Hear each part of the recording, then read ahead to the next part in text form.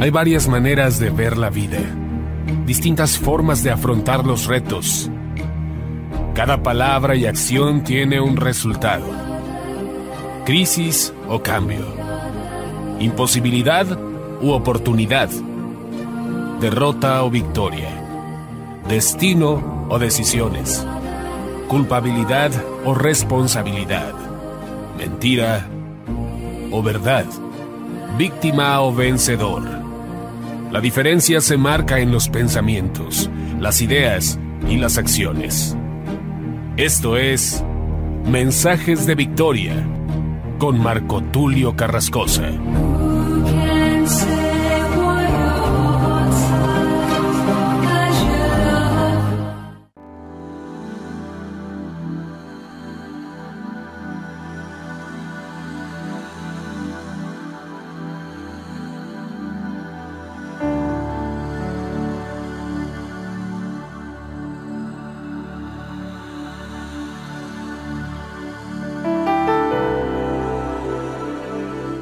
Bendiciones a todos. Es un gran gusto, una gran alegría poderles saludar nuevamente a través de la radio, a través de internet. Tenemos reportes de que estamos llegando cada vez más a miles y miles de lugares. Gracias a Dios por esta gran oportunidad que nos concede de predicar su palabra y poder anunciar a través de la predicación buenas noticias, porque el Evangelio son buenas noticias.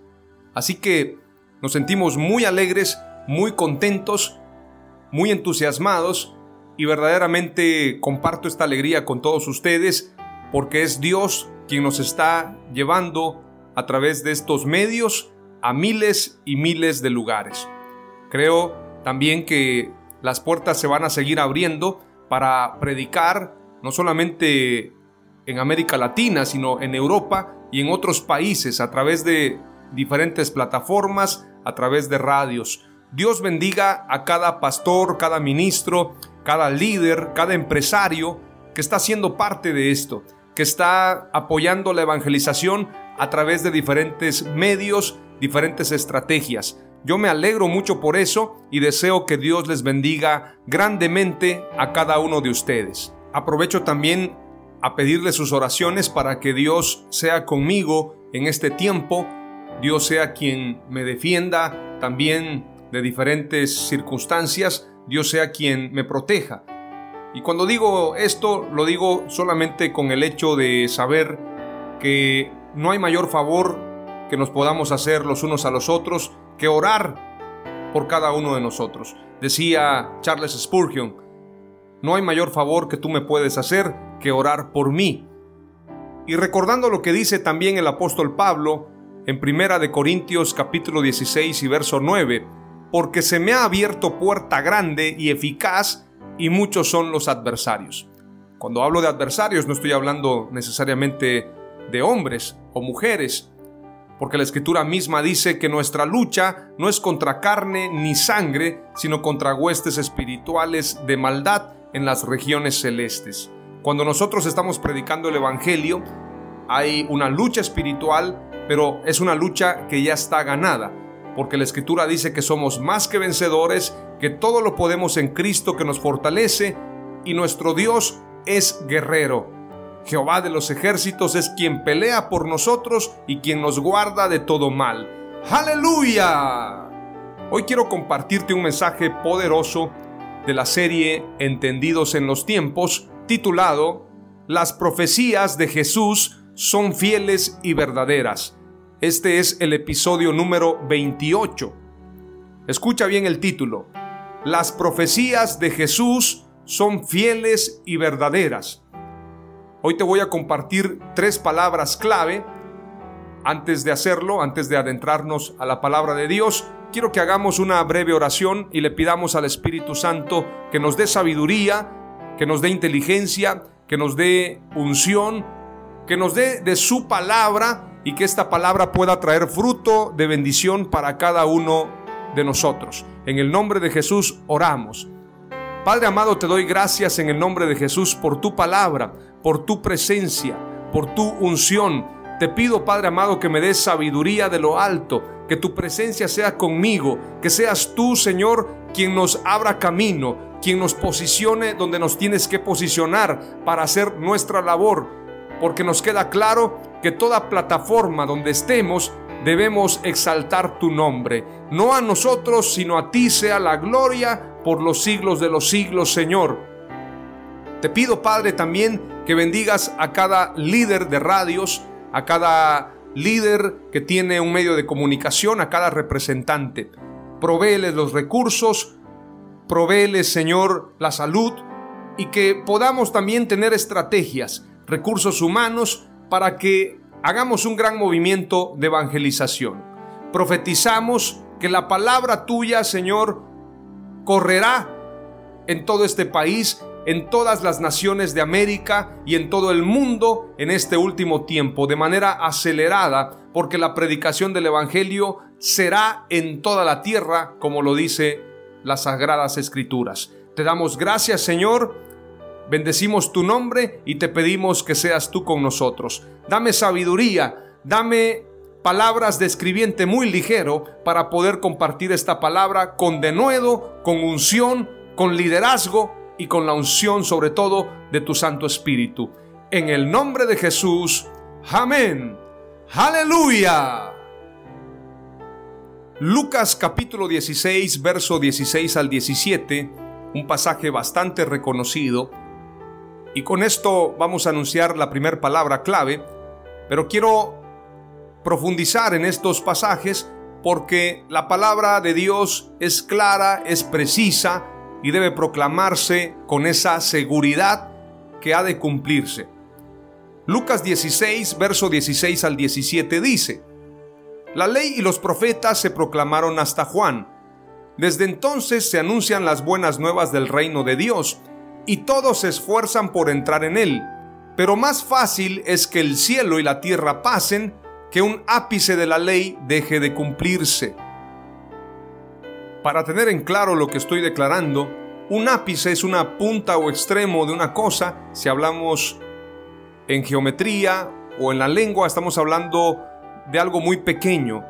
Es decir, una tilde o una jota, como dice la escritura, ya que esta expresión que usaba Jesús no pasará una jota ni una tilde de la ley hasta que todo se cumpla, ya que en la escritura hebrea la J y la tilde son puntos usados de la escritura de manera muy común y forman parte de algo pequeño en la escritura pero que le dan un significado. Por esto declara el Señor, ni una J ni una tilde pasará hasta que esto se haya cumplido. Y es importante señalar también cuando dice la escritura en ese pasaje que leíamos, que es más fácil que el cielo y la tierra pasen que un ápice de la ley deje de cumplirse. Es decir, que lo que está señalando Jesús en ese pasaje es que no puede haber error. Lo que está escrito se cumplirá al pie de la letra y es más fácil que el cielo y la tierra pasen que un ápice, que una pequeña parte de la ley deje de cumplirse. Es decir, la ley y los profetas se cumplirá al pie de la letra en las profecías grandes como en las profecías pequeñas. Cada detalle ha de cumplirse al pie de la letra. Esto es lo que está señalando nuestro Señor Jesús. Mateo 5:18 dice, pero en verdad os digo que hasta que pasen el cielo y la tierra, no se perderá ni la letra más pequeña, ni una tilde de la ley, hasta que todo se cumpla. Aleluya todo ha de cumplirse al pie de la letra. Lucas 21:33 dice, el cielo y la tierra pasarán, mas mis palabras no pasarán. Mateo 24:35 señala, el cielo y la tierra pasarán, pero mis palabras no pasarán. Salmos 119:89 dice, para siempre, oh Señor, tu palabra está firme en los cielos. Lucas 16, 17. Pero más fácil es que el cielo y la tierra pasen que un ápice de la ley deje de cumplirse. Ya lo habíamos leído al principio y estoy reafirmándolo. En este sentido, La primera palabra clave que te comparto para que la tengas firme en tu corazón, para que la tengas como un anuncio y de ser posible, si puedes, ahora mismo que la mayoría de personas se encuentran en casa o con mayor cotidianeidad, se encuentran en sus hogares, es momento de aprovechar a hacer nuevas cosas. Y una de las cosas que yo te sugiero es que comiences a escribir, que comiences a estudiar más, hacer pinturas podría ser también un talento a desarrollar, pero ¿qué tal si pusieras este pasaje que hemos leído? Lucas 21:33 El cielo y la tierra pasarán, mas mis palabras no pasarán. La palabra de Dios es fiel y verdadera. ¿Qué tal si llenas tu casa de pasajes bíblicos para que tú mismo te ministres con la palabra de Dios y que la palabra de Dios cumpla su propósito en tu vida? Algo que también te sugiero, a tus hijos no les des solamente videojuegos, pelotas, juguetes.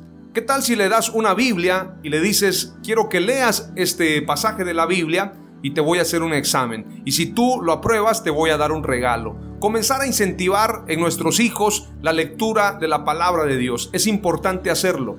Es importante para que ellos tengan un desarrollo. La escritura dice, instruye al niño en su camino para cuando fuere viejo no se aparte de él.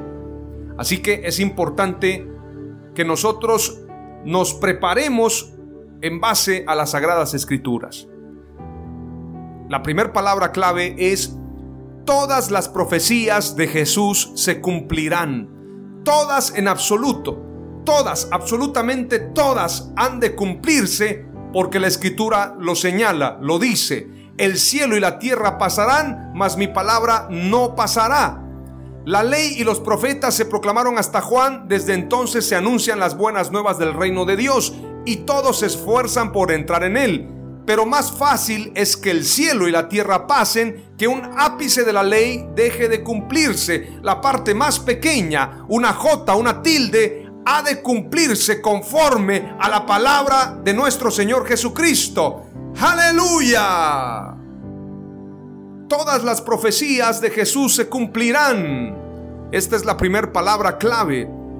Vamos ahora a la segunda palabra clave y quiero compartirte también lo que señala un estudio acerca de profecías que se han cumplido de nuestro Señor Jesús. Jesús como palabra viviente, como el verbo hecho carne que habitó entre nosotros, la palabra de Dios hecha carne, profetizó muchas cosas que se cumplieron. Otras están por cumplirse. Si recorremos las profecías más famosas de Jesús, vamos a darnos cuenta que algunas ya se cumplieron y otras están por cumplirse.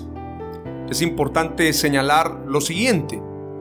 Jesús, además de ser el Dios hecho hombre, es también el profeta, el profeta de Dios.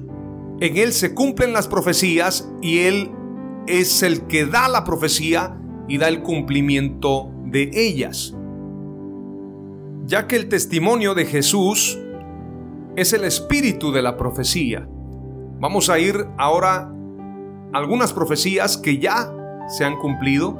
Quiero que prestes mucha atención.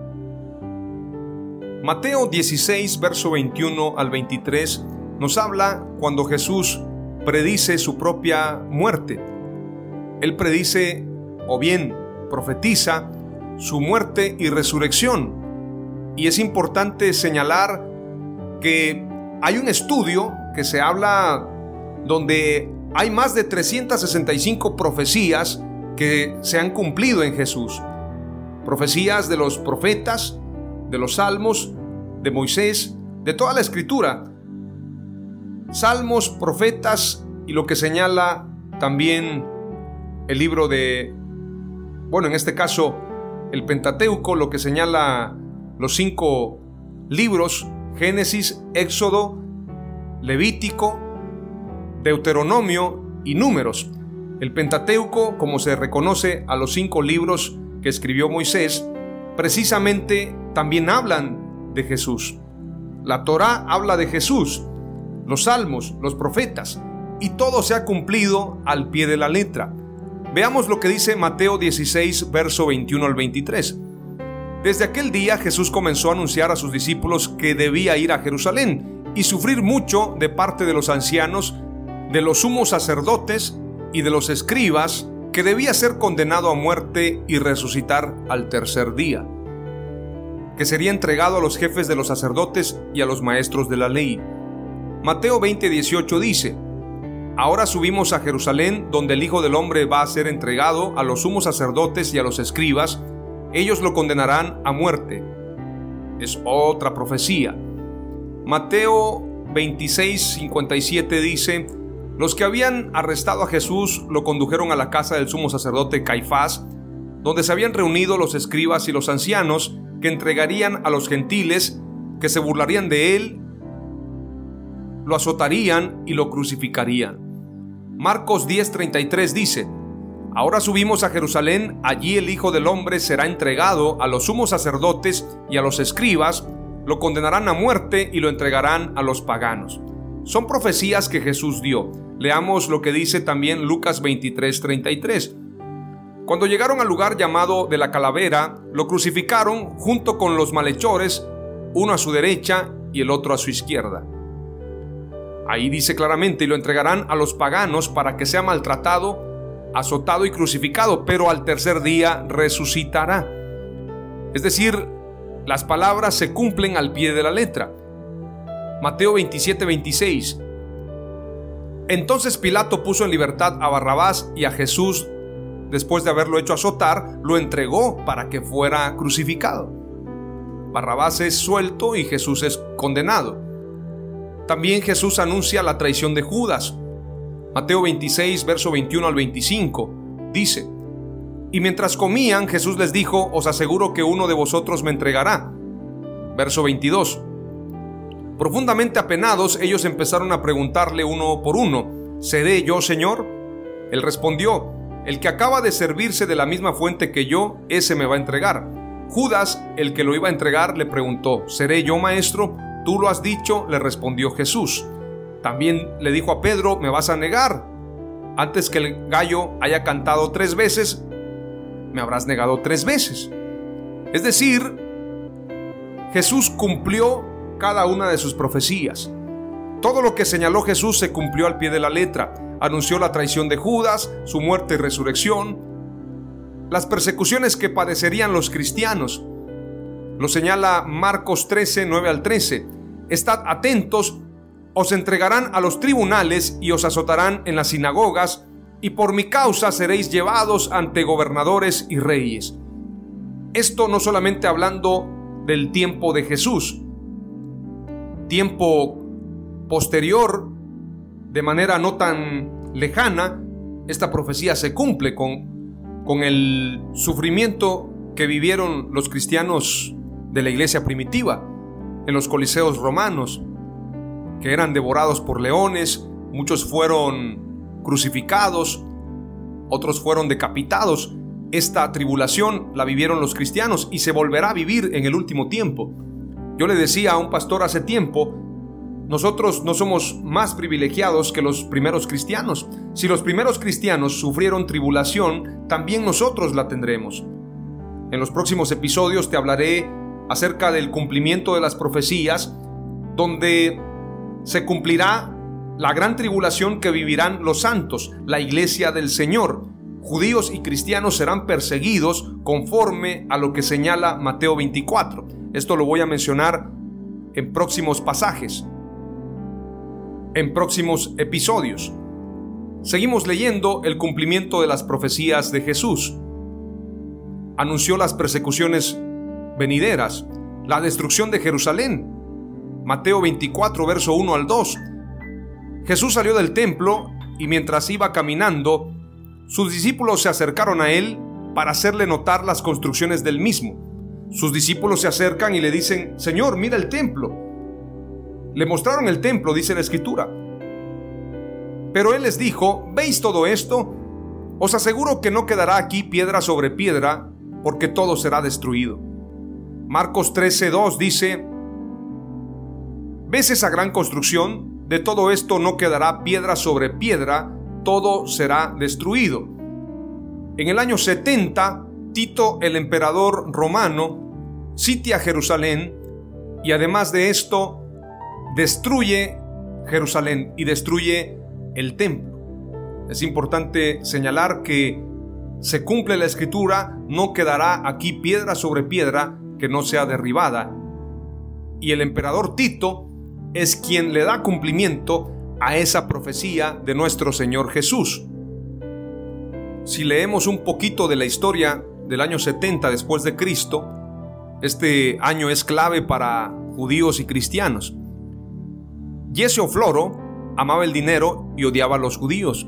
Como procurador romano gobernó Judea, cuidando poco su religiosidad. Cuando los ingresos fiscales eran bajos, se apoderó de la plata del templo. A causa de la oposición creciente contra él por parte de los judíos, en el año 66 después de Cristo envió tropas a Jerusalén, que masacraron al menos 3.600 ciudadanos. La acción de Floro provocó una rebelión, la primera revuelta judía. Esto es un dato histórico. Se dice que sucedió entre el año 66 y el año 73. Y en el año 70, el emperador Vespasiano encargó a su hijo Tito sofocar una violenta revuelta que desde hacía cuatro años sacudía a Judea, es decir, había una guerra, había una confrontación. Tras un duro asedio, Tito logró conquistar Jerusalén y destruyó y saqueó el templo. Lo destruyó, lo profanó. Allí es donde se cumple, no quedará piedra sobre piedra que no sea derribada. Sin embargo, esa profecía también se cumplirá en el tiempo postrero. Se va a construir el tercer templo. De esto vamos a hablar en los siguientes episodios, pero cada una de las palabras de Jesús tienen cumplimiento. La destrucción de Jerusalén, la destrucción del templo, la profetiza Jesús. Otro hecho más que tiene cumplimiento. Todas las profecías de Jesús se van a cumplir al pie de la letra. Porque Jesús es fiel y es verdadero. Antes de darte la segunda palabra clave, quiero ahora que leamos Apocalipsis capítulo 3 y verso 7. Escribe al ángel de la iglesia en Filadelfia. Esto dice el santo, el verdadero, el que tiene la llave de David, el que abre y ninguno cierra, y cierra y ninguno abre. El santo, el verdadero. Él es santo y es verdadero. No hay mentira en él.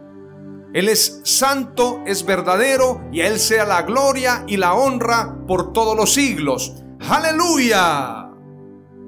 Apocalipsis 19:11 dice, y vi el cielo abierto y he aquí un caballo blanco. El que lo montaba se llama fiel y verdadero y con justicia juzga y hace la guerra. Esto es cuando Jesús venga con sus santos para hacer la guerra del Armagedón. Gog y Magog. Que es importante comentar que muchos piensan que la guerra de Gog y Magog o la guerra de Armagedón se va a dar antes de la venida del Señor. Esto es un error, es una imprecisión, porque la guerra de Gog y Magog o la guerra de Armagedón o bien Megiddo se va a dar precisamente entre Jesús el Cordero, su ejército, sus santos, contra las naciones que estarán en contra del Cordero entonces no puede llevarse a cabo la guerra de Gog y Magog antes de la venida de nuestro Señor Jesucristo. De esto vamos a hablar más adelante. Si leemos también el verso 13 del capítulo 19 de Apocalipsis, dice, estaba vestido de una ropa teñida en sangre y su nombre es el Verbo de Dios. Y los ejércitos celestiales, vestidos de finísimo lino blanco y limpio, que le seguían en caballos blancos. Es importante señalar que se cree, creemos, que estos ejércitos celestiales que están vestidos de lino somos nosotros, la iglesia, que lo vamos a acompañar al Señor para esta guerra.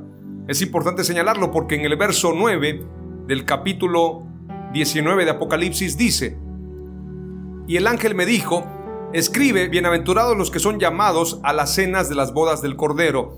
Y me dijo, estas son palabras verdaderas de Dios. Aquí está hablando de las bodas del Cordero, pero es importante señalar que la multitud que forma parte de las bodas del Cordero fueron vestidas de lino blanco. Veamos el pasaje. En el verso 8 dice, y a ella, es decir, a la novia, a la esposa, a la iglesia, a nosotros, y a ella le fue concedido vestirse de lino fino, resplandeciente y limpio, porque las acciones justas de los santos son el lino fino. Por esto yo creo firmemente que después de la gran tribulación, cuando nosotros tengamos nuestro encuentro con Jesús, seamos arrebatados después de la gran tribulación, como lo dice Mateo 24, después de esta gran tribulación, después de esta tribulación aparecerá la señal del Hijo del Hombre y mandará a sus ángeles para reunir a todos los santos. Después de esto se va a dar ese tiempo de guerra. Y esa guerra contra aquellos que persiguieron a la iglesia, esa guerra va a estar conformada por dos bandos.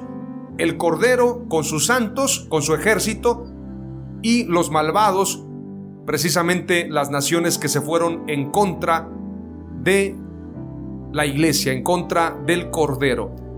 Este es otro tema que vamos a hablar más adelante en esta serie Entendidos en los tiempos.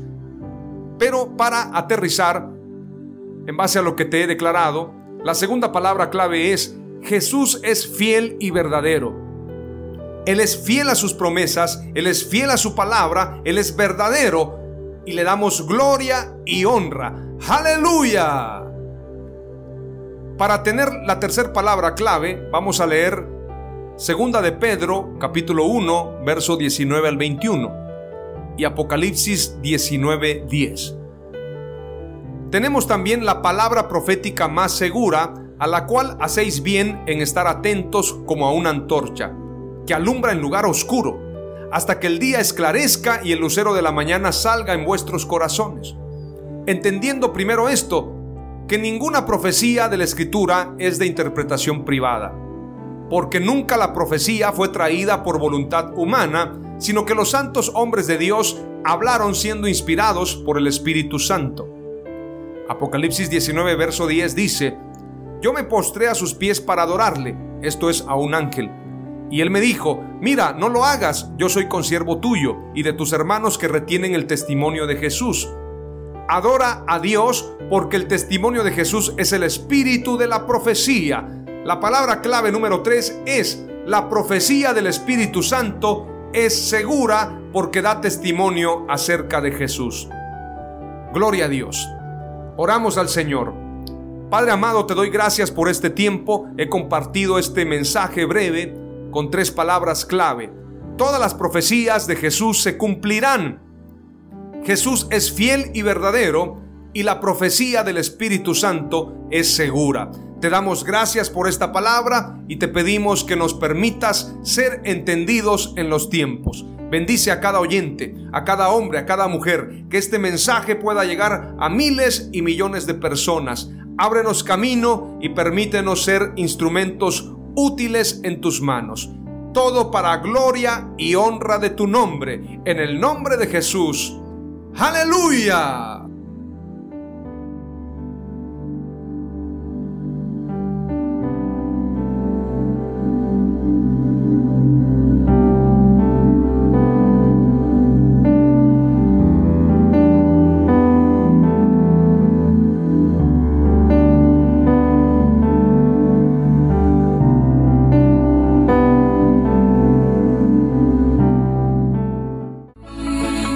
Fue Mensajes de Victoria con Marco Tulio Carrascosa. Gracias por escucharnos y seguirnos en nuestras redes sociales. Si deseas invitarnos a tu ciudad, escríbenos por inbox o al WhatsApp 961 66 882 99 961 66 882 99.